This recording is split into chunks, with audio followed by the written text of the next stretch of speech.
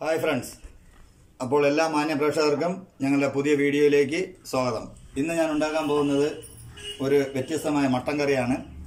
ഇത്രയും നാൾ നമ്മൾ ഉണ്ടാക്കിയതെല്ലാം ബീഫും ചിക്കനും അങ്ങനെയുള്ള ഐറ്റങ്ങളായിരുന്നു. ഇന്ന് നമുക്ക് വ്യത്യസ്തമായ ഒരു മട്ടൻ കറി എങ്ങനെ ഉണ്ടാക്കാമെന്ന് നോക്കാം. അപ്പോൾ ആദ്യം നമുക്ക് മട്ടനെ ഒന്ന് ചെറിയ മസാല കൂട്ടിലൊന്ന് എണ്ണയിൽ വരട്ടി എടുക്കാനുണ്ട്. അതിലേക്ക് വേണ്ട ഇൻഗ്രീഡിയൻസ് എന്തൊക്കെയാണെന്ന് നോക്കാം. ഞാൻ ആദ്യമായിട്ടിടുന്നത് ഒരു ഒന്നര സ്പൂൺ കാശ്മീരി മുളക് പൊടിയാണ്. അതിനുശേഷം ഒരു സ്പൂൺ മല്ലിപ്പൊടി ഒരു അര സ്പൂൺ മഞ്ഞൾപ്പൊടി ഒരു അര സ്പൂൺ കുരുമുളക് പൊടി അര സ്പൂൺ ഗരം മസാല. അതിനുശേഷം കുറച്ച് ഉപ്പ് കൂടി ചേർത്ത് കൊടുക്കാം. കാരണം ഇനി നമ്മൾ മസാലയുടെ കറിക്ക് വേണ്ടിയുള്ള കൂട്ടിൽ ഇതെല്ലാം ഒന്നുകൂടി ചേർക്കേണ്ടതാണ്. അതുകൊണ്ട് എല്ലാം കുറേശ്ശെ മാത്രമേ ചേർക്കുന്നുള്ളൂ. കൂടാതെ അതിലേക്ക് കുറച്ച് കോൺഫ്ലവർ കൂടി ഇട്ട് കൊടുക്കാം. അത് നിങ്ങളെടുക്കുന്ന ഇറച്ചിയുടെ അളവനുസരിച്ച് ഇട്ട് കൊടുത്താൽ മതി. ഞാനിപ്പോൾ അതുകൊണ്ട് ഒരു മൂന്നാൽ സ്പൂൺ ഇട്ട് കൊടുക്കുന്നുണ്ട്. പിന്നെ കുറച്ച് ഇഞ്ചി വെളുത്തുള്ളി പേസ്റ്റ് അതൊരു ഒരു സ്പൂൺ ഇട്ട് കൊടുത്തിട്ടുണ്ട്. ഇനി നമുക്കതിലേക്ക് കുറച്ച് വെളിച്ചെണ്ണ ഒഴിച്ച് കൊടുക്കണം.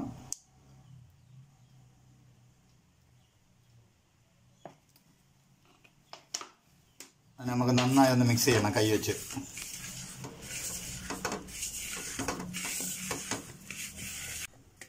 നമ്മൾ ഇറച്ചി വരട്ടിയെടുക്കാനുള്ള മസാല റെഡി ആയിട്ടുണ്ട്.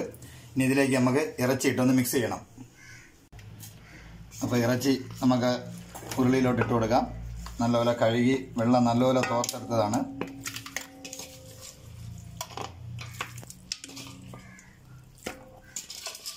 ഞാൻ ഏതാണ്ട് ഒന്നര കിലോയുള്ള മട്ടൺ എടുത്തിട്ടുണ്ട്. അതിന് കണക്കിനുള്ള മസാല കൂട്ടാണ് ഞാൻ നേരത്തെ കൂട്ടി വെച്ചത്. ഇനി നമ്മൾ മസാല കൂട്ട് അതിലോട്ട് ഇട്ട് കൊടുക്കാം. ഇട്ട് കൊടുത്തിട്ട് ഇറച്ചിയായിട്ടും നല്ലപോലെ മിക്സ് ചെയ്യണം.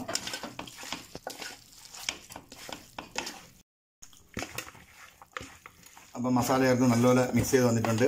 അതിലേക്ക് നമുക്ക് ലേ ഒരു രണ്ട് സ്പൂൺ സോയാ സോസ് കൂടി ഒഴിച്ചു കൊടുക്കാം. ഒരു പ്രത്യേക ടേസ്റ്റിന് വേണ്ടിയാണ്. അതിനുശേഷം നല്ലപോലെ ഒന്ന് ഇളക്കി കൊടുക്കണം. പ്രത്യേക രുചിയായിരിക്കും. ഒരുപാട് ചേർക്കണ്ട. അപ്പോൾ നമ്മുടെ ഇറച്ചി മസാല ആദ്യത്തെ മസാല കൂട്ടിന് നല്ലപോലെ മിക്സായി വന്നിട്ടുണ്ട്. ഇതിനെ നമുക്കിനി ഒരു അരമണിക്കൂറോളം റെസ്റ്റ് ചെയ്യാൻ വയ്ക്കണം അതിനുശേഷം നമുക്ക് മറ്റൊരു ഉരുളി എടുത്ത് എണ്ണ ഒഴിച്ചൊന്ന് വരട്ടിയെടുക്കണം.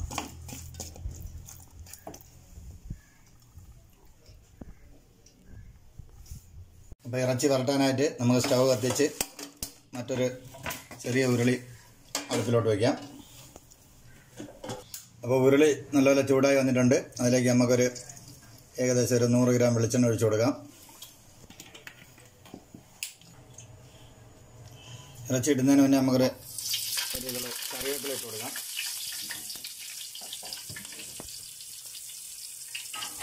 ഇനി നമുക്ക് മസാല വൃത്തി വെച്ചിരുന്ന മട്ടൺ ഉള്ളിലോട്ട് വെച്ച് ഇട്ട് കൊടുക്കാം.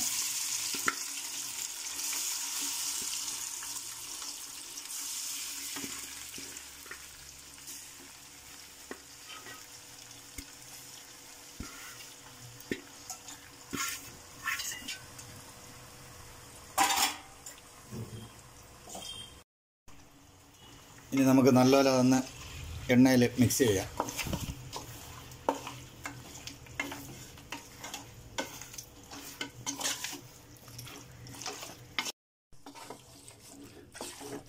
ഇളകി കൊടുക്കുമ്പോൾ നല്ല നല്ല ചെറിയ തീയിൽ വെച്ച് വേണം ഇത് ഇളക്കി കൊടുക്കാൻ.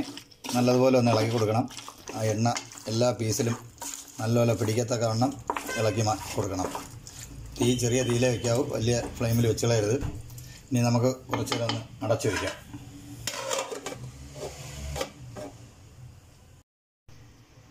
അപ്പോൾ നമ്മുടെ ആദ്യ മസാല കൂട്ടിൽ മട്ടൺ എങ്ങനെ ആയെന്ന് നമുക്ക് നോക്കാം. അടപ്പെടുത്തിയിട്ടുണ്ട്.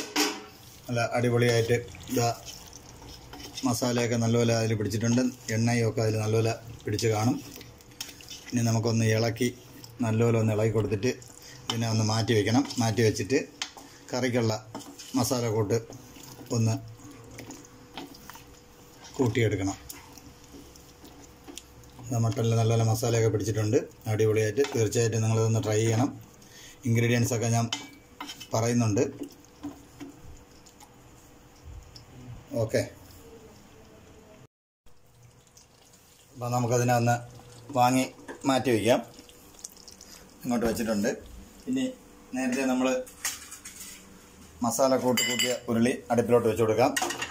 മട്ടൻ കറിക്കുള്ള മസാല നമുക്ക് ഇതിൽ വേണം മിക്സ് ചെയ്തെടുക്കാനായിട്ട്. അപ്പോൾ ഉരുളി വെച്ചിട്ടുണ്ട്. തീ അല്പം കൂട്ടി വെച്ച് ഒന്ന് പാത്രം ചൂടാക്കി എടുക്കാം.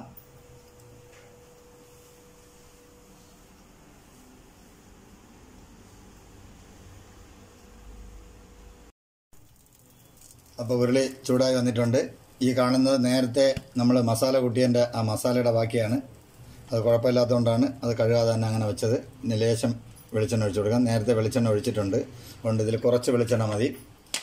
വെളിച്ചെണ്ണ ഒന്ന് ചൂടായി വന്നതിന് ശേഷം ബാക്കി ചേരുവകളെല്ലാം കൂടെ ഇട്ട് കൊടുക്കാം. അപ്പോൾ വെളിച്ചെണ്ണ ചൂടായി വന്നിട്ടുണ്ട്. അതിലേക്ക് കുറച്ച് ആവശ്യത്തിന് കടുക് ഇട്ട് കൊടുക്കാം. ചൂട് പൊട്ടി വന്നിട്ടുണ്ട്. അതിലേക്ക് നമുക്ക് കുറച്ച് ഉഴുന്ന പരിപ്പ്. അതിനുശേഷം അല്പം ജീരകം കൂടി ഇട്ട് കൊടുക്കാം. ചെറിയ ജീരകം.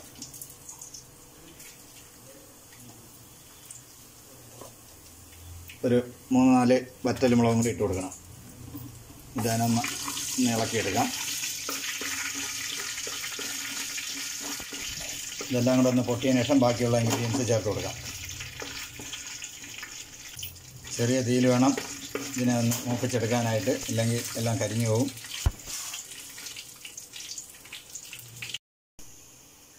അപ്പോൾ ആദ്യമായിട്ട് എല്ലാം മൂത്ത് വന്നിട്ടുണ്ട്. ഇനി നമുക്ക് അതിലേക്ക് കുറച്ച് കറിവേപ്പില ഇട്ട് കൊടുക്കാം.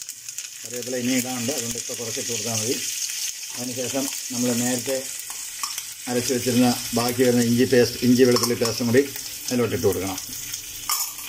എന്നിട്ട് നല്ലപോലെ ഒന്ന് ഇളക്കിയെടുക്കണം. അതിന്റെ പച്ച മണം ഒന്ന് മാറി കിട്ടണം.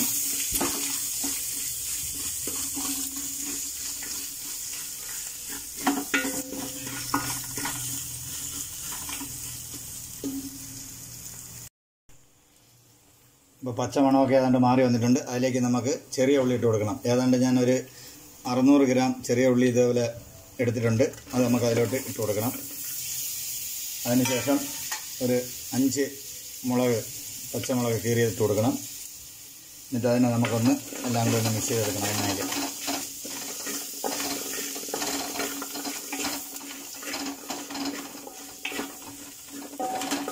ഇതിനെ നമുക്ക് കുറച്ച് നേരം ഒന്ന് അടച്ചു വയ്ക്കാം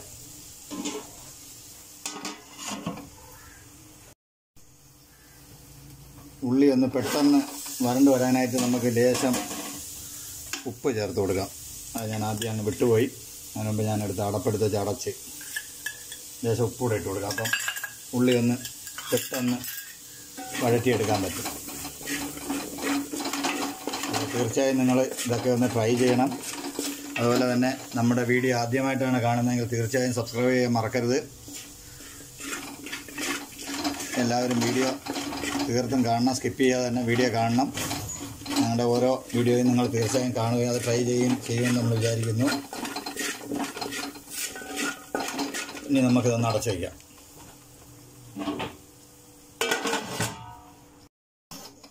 ഉള്ളി വഴറ്റി വന്നൊന്ന് നോക്കാം. ഏകദേശം ഉള്ളി റെഡി ആയിട്ടുണ്ട്. ഇനി നമുക്കതിലേക്ക് രണ്ട് മൂന്ന് ഉരുളക്കിഴങ്ങ് ചെറുതായിട്ട് കട്ട് ചെയ്ത് നിങ്ങൾക്ക് വേണമെങ്കിൽ ഉപയോഗിച്ചാൽ മതി. ഞാനിതിലേക്ക് ഒരു രണ്ട് മൂന്ന് ചെറിയ ഉരുളക്കിഴങ്ങ് കട്ട് ചെയ്തിട്ട് കൊടുക്കുകയാണ്.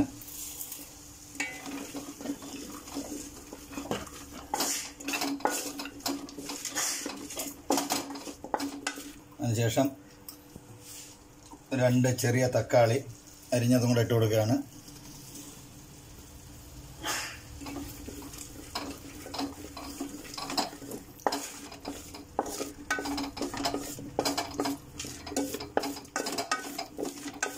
അതുകൂടെ ഒന്ന് റെഡിയായി വരുന്നതൊക്കെ എത്തി അടച്ചു വയ്ക്കാം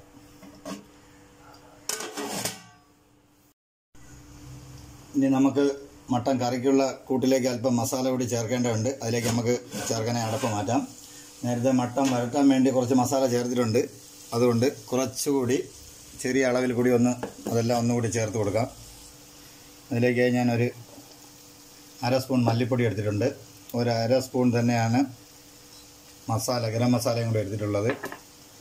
നേരത്തെ മട്ടൻ വരട്ടാനായിട്ട് ഞാൻ കാശ്മീരി മുളക് പൊടിയാണ് എടുത്തത്. ഇത് നമ്മുടെ സാധാ എരിവുള്ള മുളക് പൊടിയാണ്.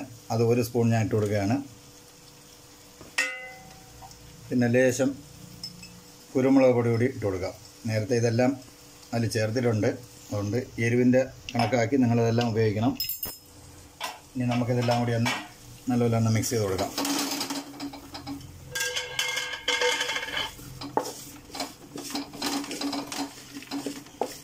എരിവൊക്കെ നിങ്ങളുടെ പാകത്തിനനുസരിച്ച് ചേർക്കണം. എരിവ് കൂടുതൽ വേണമെന്നുള്ളവർക്ക് നിങ്ങൾക്ക് നമ്മുടെ എരിവുള്ള മുളക് പൊടി കൂടുതൽ ചേർക്കാം. കളർ വേണമെന്നുള്ളവർക്ക് കാശ്മീരി മുളക് പൊടി കൂടുതലായി ചേർക്കാം.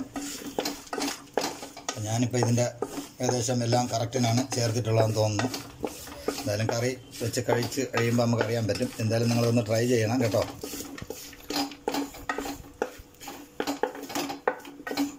മസാലയൊക്കെ ഇപ്പം ചേർത്ത മസാലയൊക്കെ ഒന്ന് പിടിക്കാനായിട്ട് നമുക്ക് കുറച്ച് നേരം അടച്ചു വയ്ക്കാം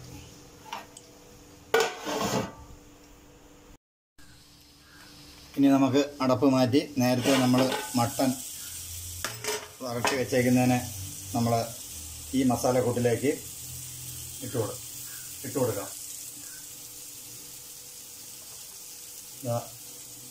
മട്ടൻ കറി അങ്ങനെ മട്ടൻ വരട്ടി വെച്ചിരുന്ന എണ്ണയിൽ വരട്ടി വെച്ചിരുന്ന ഇതിലോട്ട് ഇട്ട് കൊടുക്കുകയാണ്.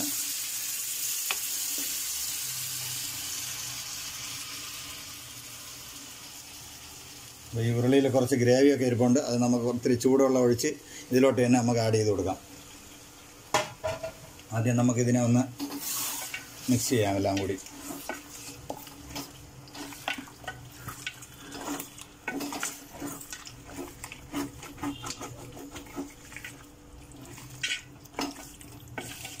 നല്ല ചെറിയ ഉള്ളിയുടെ മണമൊക്കെ വരുന്നുണ്ട് നല്ലപോലെ. നല്ല അടിപൊളിയായെന്നാണ് തോന്നുന്നത്. എന്തായാലും ഞാൻ ഈ കൂട്ടൊക്കെ കൂട്ടിയൊരു വ്യത്യസ്തമായൊരു മട്ടൻ കറിയാണെന്നാണ് എന്റെ വിശ്വാസം. എന്തായാലും നോക്കട്ടെ.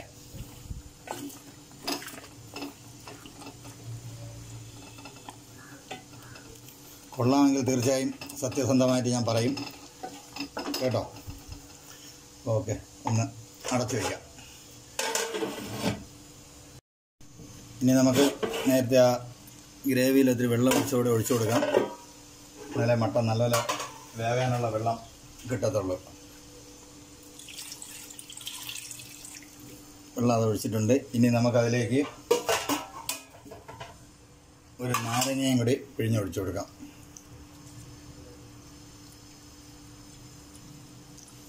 നാരങ്ങയ്ക്കലൊന്നും ചാറൊന്നുമില്ല.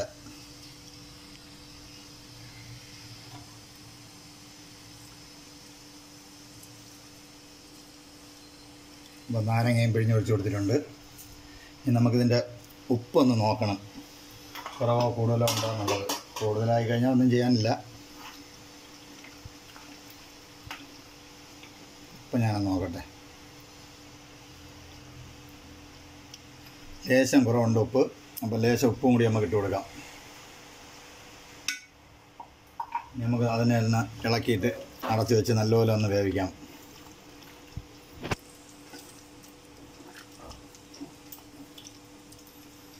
ഇനി കുറച്ച് നേരം ചെറിയ തീയിലിരുന്ന് നല്ലോല അങ്ങ് നമ്മളെ മട്ടൻ കറി. വെന്ത് വരട്ടെ. ഇനി അപ്പോൾ നമ്മുടെ മട്ടൻ കറി റെഡിയായോ എന്ന് നോക്കാം. ഏകദേശം റെഡി ആയിട്ടുണ്ട്. നല്ലപോലെ വറ്റി വന്നിട്ടുണ്ട്.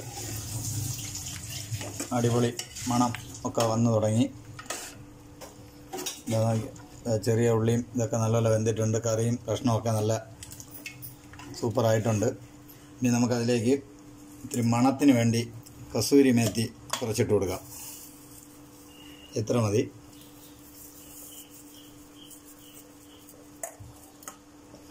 കൊടുത്തിട്ടുണ്ട്. ഇനി നമുക്കതിലേക്ക് നമ്മുടെ തേങ്ങാപ്പാൽ കുറച്ച് എടുത്തത് നമുക്ക് ഒഴിച്ചു കൊടുക്കാം.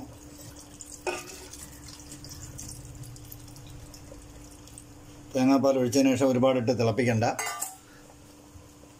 ഇനി നമുക്ക് ആ സ്റ്റവ് അങ്ങ് ഓഫ് ചെയ്യാം. ഇത്രയും അടച്ചു വയ്ക്കാം ഇനി നമുക്ക് നമ്മുടെ കറിയിലേക്ക് അല്പം മല്ലിയിലയും കറിവേപ്പിലയും കൂടി ഒന്ന് പായി കൊടുക്കാനുണ്ട്. എല്ലാം ഇട്ട് കൊടുത്തിട്ടുണ്ട്. ഇനി നമുക്കതിനെ ഒന്ന് ചുറ്റിച്ച് വെക്കണം. തേങ്ങാപ്പാൽ ഒഴിച്ചതിന് ശേഷം നമ്മളൊന്നും ചെയ്തില്ല. ഇതുപോലെ ഒന്ന്.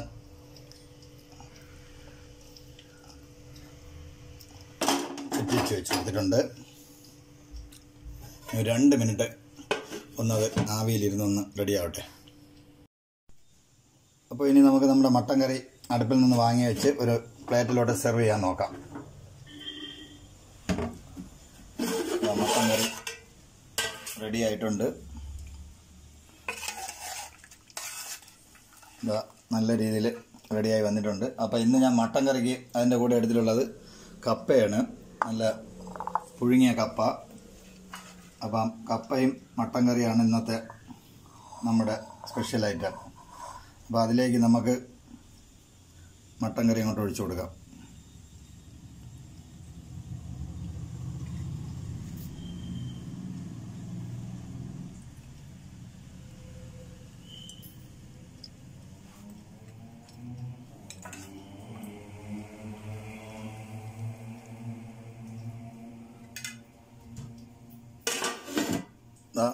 മട്ടൻ കറിയും കപ്പയും റെഡി ആയിട്ടുണ്ട്. ഇനി ഇതൊന്ന് കഴിച്ച് നോക്കി ഇതിന്റെ ടേസ്റ്റ് മാത്രമേ ഇനി അറിയാനുള്ളൂ. അപ്പോൾ ഇനി നമുക്ക് ഈ നമ്മുടെ ഈ റെസിപ്പി നിങ്ങൾക്ക് ഇഷ്ടപ്പെട്ടുവെങ്കിൽ തീർച്ചയായും ലൈക്ക് ചെയ്യണം ഷെയർ ചെയ്യണം കമന്റ് ചെയ്യണം. കൂടാതെ അങ്ങറ്റം കാണുന്ന ബെല്ലൈക്കൺ കൂടി ഒന്ന് പ്രസ് ചെയ്യുമ്പോൾ ഞങ്ങൾ ചെയ്യുന്ന ഇതുപോലുള്ള ചെറിയ ചെറിയ വീഡിയോകൾ നിങ്ങൾക്ക് നോട്ടിഫിക്കേഷനായി ലഭിക്കുന്നതായിരിക്കും.